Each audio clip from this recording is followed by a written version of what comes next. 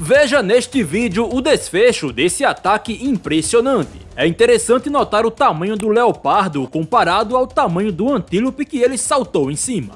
Isso mostra que tamanho pequeno não retrata o porte da presa a ser abatida, pelo menos para felinos como o leopardo. O leopardo dispõe de garras afiadas como navalhas que são usadas para agarrar a presa e evitar que ele deslize pelo corpo dela durante a perseguição. Mesmo que um deslize seja inevitável na hora da caçada, as garras ainda deixarão uma grande marca na presa. O leopardo tem muita força corporal e se manter na garupa de uma presa enquanto ela corre não é difícil para quem escala árvores com indivíduos mais pesados que ele preso à boca.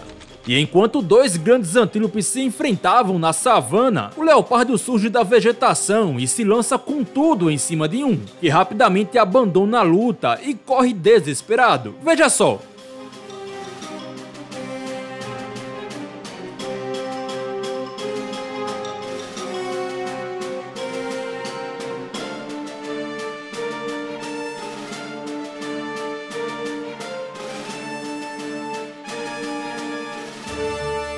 Repare que o antílope ainda fica com a pata dianteira presa no chifre, e isso poderia ter custado sua vida. Mas sorte que o leopardo desistiu de persegui-lo. Foi um ataque e uma fuga impressionante. E você o que acha? Comenta aí embaixo. Se gostou do vídeo, considere clicar no like e se inscrever aqui no canal Zona Animal Selvagem. Tem vídeos regularmente por aqui. Valeu e muito obrigado por assistir.